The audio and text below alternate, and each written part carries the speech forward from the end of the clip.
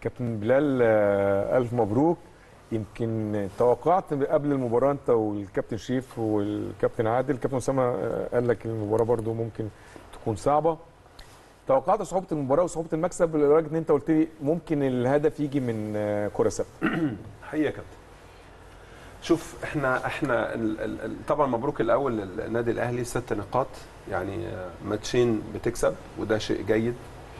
وشيء جيد بتكسب وانت في بداية الدوري لأن الإخفاقات كلها دايما بتيجي في بداية الدوري. يعني ال- ال- دايما أو معظم المشاكل اللي بتحصل بتحصل في بداية الدوري. مدير فني جديد عنده قناعات مختلفة ممكن يكون قناعاته غير قناعات المدير الفني ال- السابق. لعيبة الحماس بيغلب عليها أكتر من الفنيات بشكل كبير جدا. يعني ممكن لعيب تلاقيه عنده حماس وباور بزيادة. وده يبقى غالب على الطابع الفني بتاعه. وده يمكن باين النهارده في الماتش. النهارده الماتش لعيبة الأهلي يعني متسرعة جدا. يعني مفيش يعني وانت بتعمل المفترض يا كابتن أيمن وانت بتعمل بيلد اب لل- للهجمة بيبقى عندك يعني استراتيجية للكلام ده. أنا بعمل إيه؟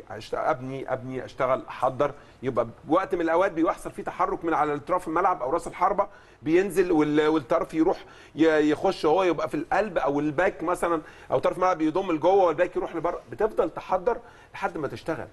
إنما النادي الأهلي في تسرع غير غير غير طبيعي.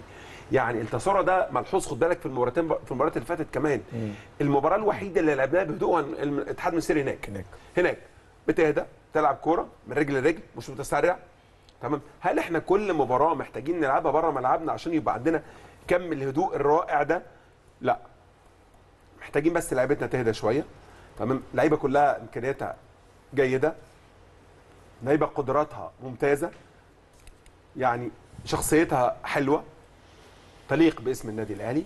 فبالتالي كل اللي محتاجينه في الملعب إن كمان المدير الفني أنا بس ملاحظ حاجة كده. أتمنى ان ان, إن يدخل في أجواء الماتش. أنا إن هو ما بيتكلمش طول طول المباراة. مفيش كلام خالص. مفيش تعليق على اللعيبة. لا هد الريتم ولا العب ولا فلان يجي من يعني شايفه من بره يعني واقف.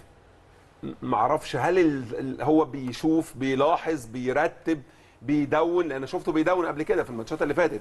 معاه ورقة وقلم وبيدون بي بي بيدي الملح... بيكتب الملحوظات بتاعته. وده شيء جيد. لكن في بعض الأوقات لأن أنا ما بشوفش الكلام ده من القاده بتاعه اللعيبه في الاهلي في الملعب انك لازم في بعض الاوقات اوقع ال rhythm شوية اهدي اللعب شوية. أنا كسبان 1-0 أنا الافضل. فبالتالي انت في وقت من الاوقات عايز تريح نفسك بدنيا وفي نفس الوقت تسيطر على ال game. ما ينفعش يبقى ال game رايح جاي. ما ينفعش يبقى انت بتلعب بسرعة هو بيلعب بسرعة بيلعب بسرعة. واللي يغلط فيك هو اللي ممكن يجيب جول. فاهم قصدي؟ يعني ما ينفعش الكلام ما ينفعش انت بتلعب فرقة يعني المفترض ان أسوان من الفرق يعني اللي في المتناول. النهارده الشوط الثاني عملوا جيم هايل. عليك. بيلعبوا بسرعة متحكمين في رتم الأداء الدقيقه 70 هو هو أفضل منك. هو لعب يعني دخل في 20 أجواء دقيقه المباراة. 20 دقيقة كان جيد فيها. أيوة. انت طول ال 70 دقيقة مسيطر على على المباراة. تمام؟